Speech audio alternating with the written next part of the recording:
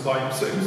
So we go into Bertrand's and, and the collecting machine is working in good order because the only book, Sherlock Holmes book they had at Bertrand's was volume six of the oh. series they had. But is there any collection, collectors in the room? There was one problem. It was a different printing, so the color variation. So you know, it, it's okay, but I, I still bought it.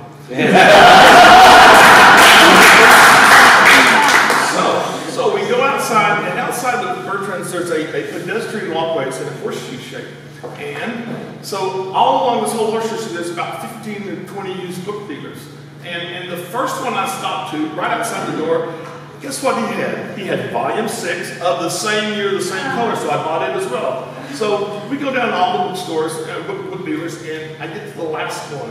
And this uh, guy is named Antonio Silva, and he's a retired pilot, so he speaks perfect English.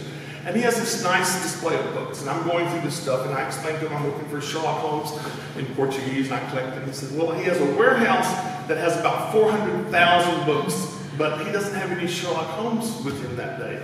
And about that time, I, I open up the stack of books, and there's two Sherlock Holmes in Portuguese. So he thinks I'm psychic or psycho or something.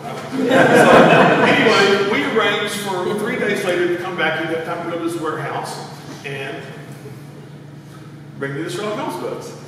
So the next night, the next night, my wife and I are in a total part, different part of Portugal. Just we're looking for a pizza restaurant. Everybody knows me. We, we, we always look for great pizza restaurants. So we're looking for this pizza restaurant. We can't find it. And up the top of this really steep hill, I see a used bookstore. now remember, this is my wife's trip, and it's not a Sherlockian trip. But we go up this steep hill, you know, it's like climbing mini Alps. And I get up there, and I asked the lady if she has any Sherlock Holmes, and she says, no, only the ones in Portuguese. I said, no, you don't miss, you the point. That's what I'm after. So, so I buy about six or seven books, and, and get ready to leave. And she says, oh, wait a minute, wait a minute. And she goes to the back and brings out another sack full of books. I buy all of them, I.